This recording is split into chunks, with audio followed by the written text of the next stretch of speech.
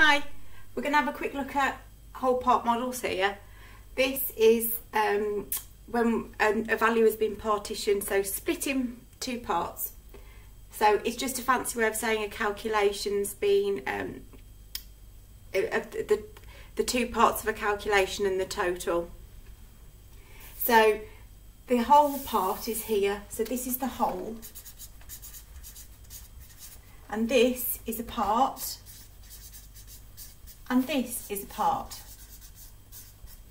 Now when these two parts are together they make the whole. So if we count how many flowers are in this part, can you count with me? One, two, three, four, five. I can just put a little number five next to it to remind me. And then here I have a part here, so I have three. One, two, three. I'm just going to put that there to help me remember. So I need to add these two amounts together to make the whole. Now the first step in doing this is I could draw them in to help me and then I can count and work the total. So I can say one, two, three, four, five. that's that part. And then I can take in that part, one, two, three. And then I can count the total, one, two, three, four, five, six, seven, eight. So my total is eight. If I have, um, if I had just part the whole first, then I would be doing an inverse operation, but I'm, I'm going to come back to that in a minute. Okay, so this, I've, I've got another whole part model here represented slightly differently. It's just this turned around. So again, this is the whole. This is a part and this is a part. Now we're working pictorially at the minute, that means with pictures. So in this part, I have a number of dots, but here I've written a numeral.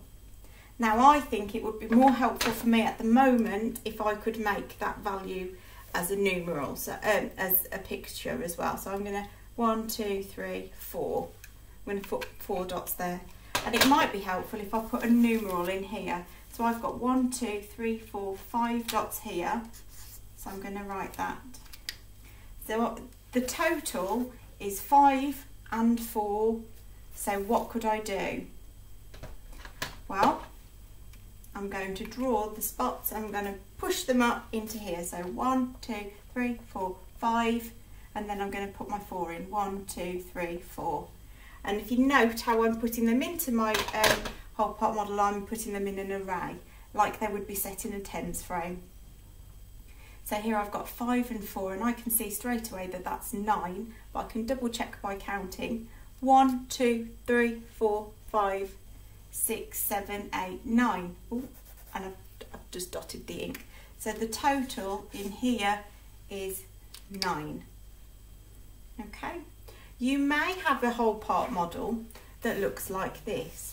So you have your whole and you have a part and a part. So here's your whole, here's your part, and here's your part.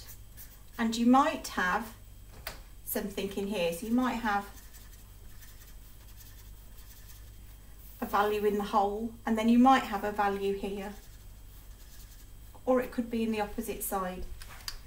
Now it's asking you in this case to work out what's the missing value. So 2 add something makes the whole value.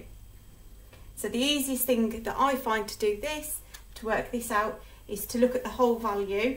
I've got 2 as a part, so I'm going to take cross 2 out of my whole value, and then this is my missing value. So this was 5, this was 2, and my missing value here is 3.